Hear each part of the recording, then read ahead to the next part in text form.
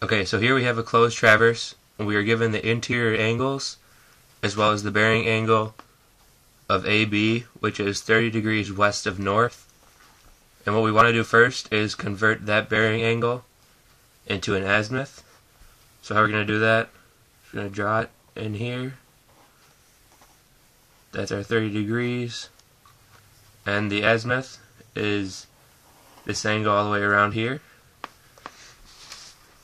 And so we're just going to do 360 degrees, 0 minutes, minus 30 degrees, 0 minutes, equals 330 degrees, and 0 minutes.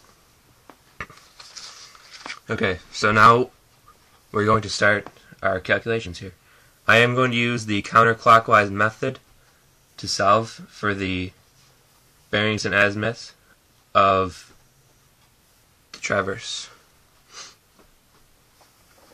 Alright, so our first azimuth is AB, so we'll write that down.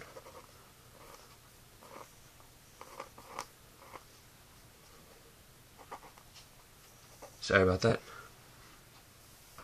And what we need to find is our back azimuth, which is azimuth BA.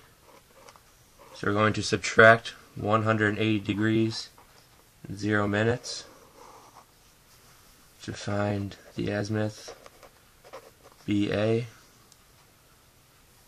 Okay, so 150 degrees in 0 minutes. And to find azimuth BC, we're just going to add our angle B, which up here is 120, 28. This is going to give us azimuth BC, which is 270 degrees and 28 minutes. Okay, so we're going to note that because we need that one later.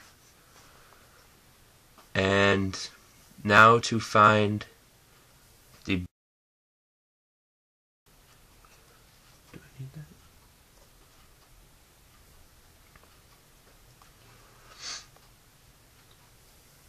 Oh.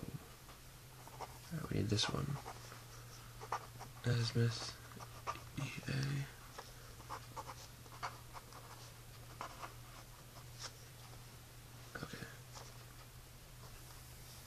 So we have all the azimuths, azimuths that we want.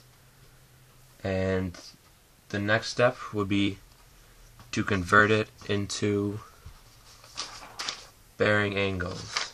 Bearing, north, east. Again, azimuth equals bearing in that northeast quadrant. Southeast is just 180 minus the azimuth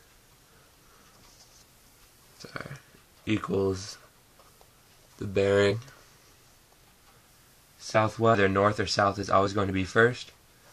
So this one is north, 89 degrees, 32 minutes west. That bearing angle is right there. Okay. So the next one we're going to find is the bearing angle of CD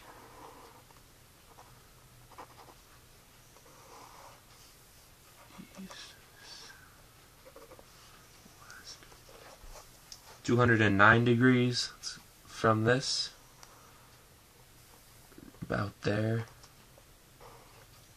It's our line. Okay, and then we're up in southwest quadrant. So AZ minus 180.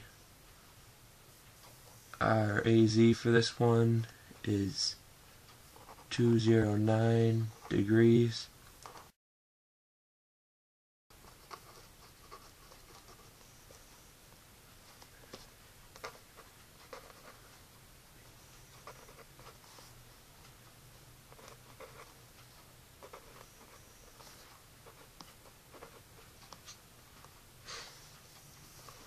So now we just gotta fill this in with our numbers.